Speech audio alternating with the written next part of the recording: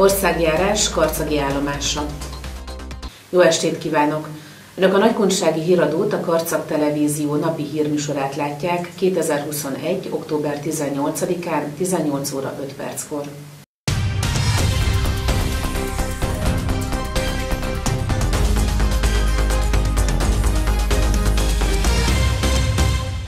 A Dériné Kulturális Központban tartott lakossági fórum vendége Hídvégi Balázs európai parlamenti képviselő volt. Az est házigazdája dr. Fazekas Sándor országgyűlési képviselő, korábbi földművelésügyi miniszter, kormánybiztos, és F. Kovács Sándor országgyűlési képviselő voltak. Az S során sok téma került sorra, de a legfontosabb a 2022-es választás volt.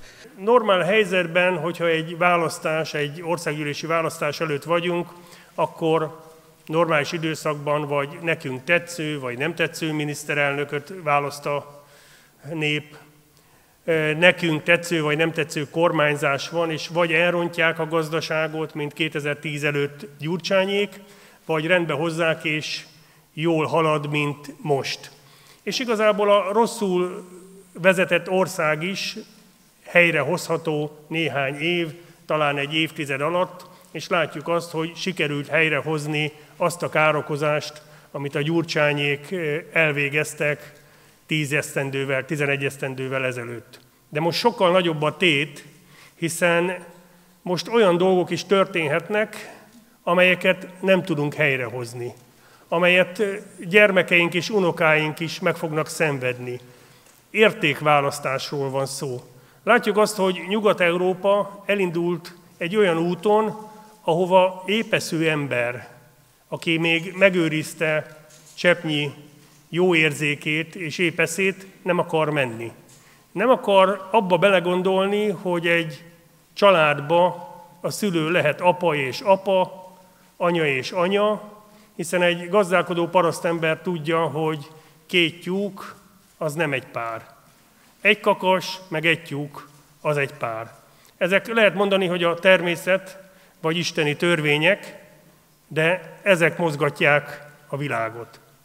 És amikor eldöntik azt, hogy viccnek is gyenge lenne, hogy egy férfi is nyugodtan szülhet. Csak nem tud.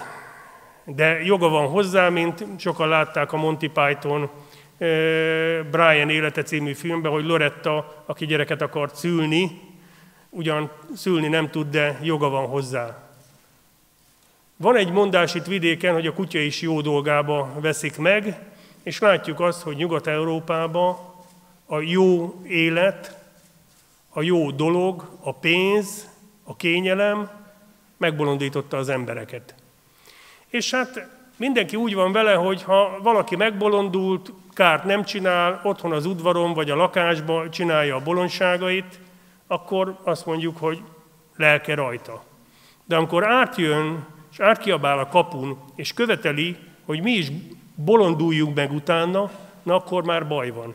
És most már Nyugat-Európa követeli, hogy mi is bolonduljunk meg utána. És amikor azt mondjuk, hogy jó emberek, nem vagytok normálisak, akkor kikérik maguknak, és meg vannak arról győződve, hogy az, ami jó, ami hagyományos, ami évezredeken, tízezer éven keresztül bevált, az a rossz.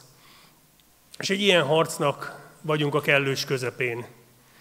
Erről fog szólni a következő választás. Arról fog szólni, hogy a gyermekeket az óvodában, iskolában rá tudják-e beszélni, hogy egy tyúk meg egy tyúk az egy pár. Hogy anya meg apa az nem létezik, csak szülő egy, vagy szülő kettő.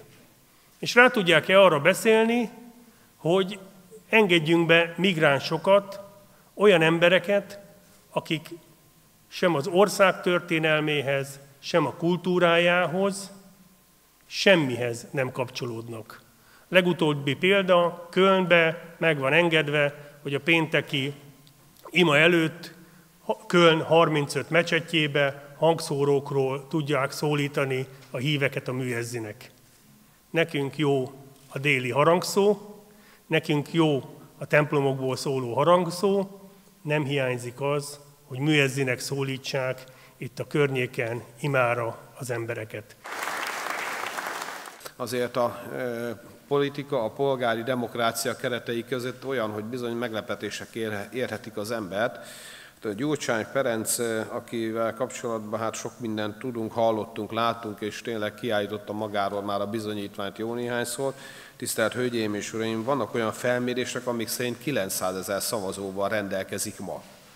900 ezer szavazóval. No nem azért, mert ő egy világos jövőképet fel tudna vázolni, hanem azért, mert szépen apránként ugye a bal oldalon elfoglalta azt a helyet, amit korábban az MSZP töltött be.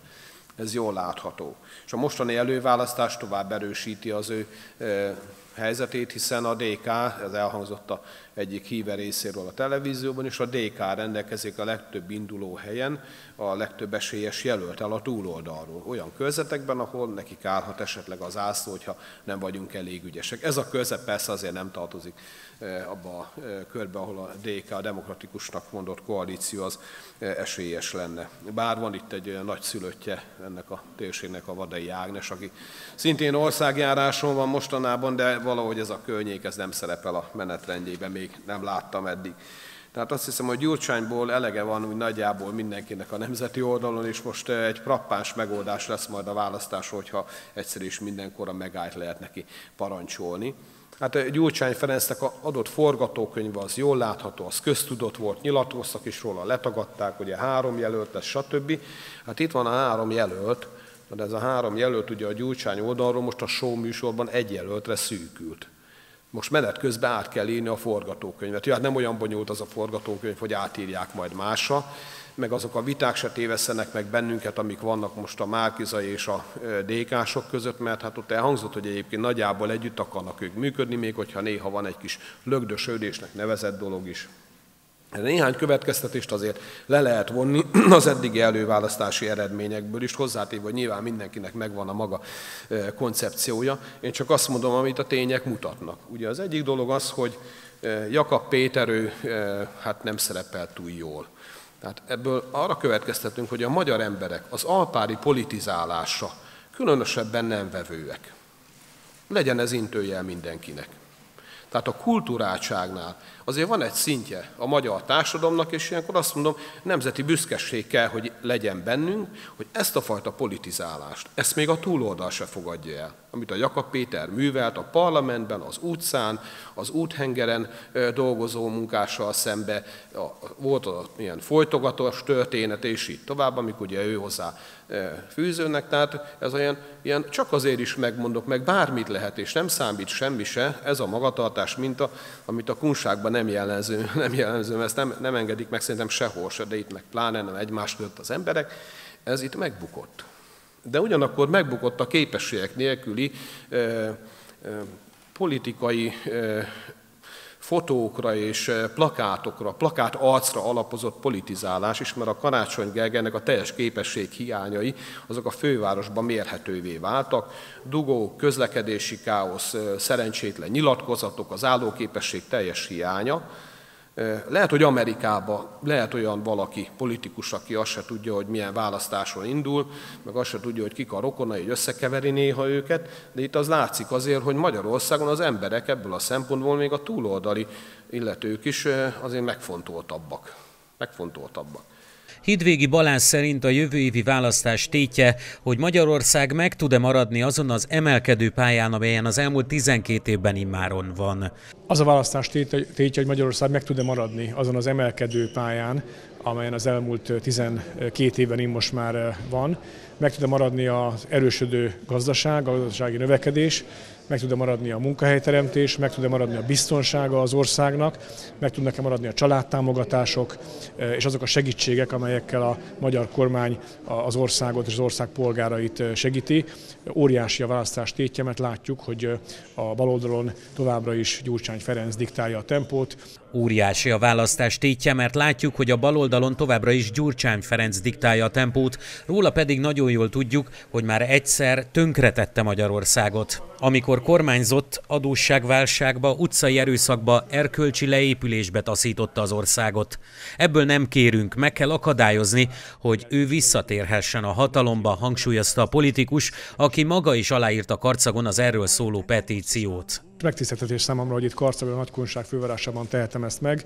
Ez egy erős bástyája a fidesz kdnp nek büszkék vagyunk az itteni vezetőinkre, polgármesterekre, országgyűlési képviselőkre, korábbi minisztert is adott a kormánynak ugye ez a város, úgyhogy ez nagyon fontos dolog, és én szeretném kérni minden itt élő támogatónkat, szavazónkat, hogy továbbra is álljunk ki az erős Magyarország mellett, álljon ki a kormány mellett, legyen ott most is, írja alá ezt, a, ezt az aláírási ívet, és aztán legfontosabb a választáson vegyen majd részt, és mindenkit biztosan is arra, hogy legyen ott. Mert nem elég csak egyetérteni a kormány eredményeivel vagy döntéseivel, és a kormányzás irányával ott kell lennünk, ez a legfontosabb döntés, ami most következik a jövő év tavaszán.